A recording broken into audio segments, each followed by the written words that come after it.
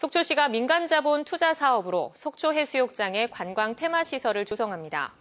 속초시는 조양동 속초해수욕장 인근 공유 재산인 옛 행정지원센터를 헐고 4층 규모 건축물을 신축해 관광 테마 체험 시설로 활용할 계획입니다.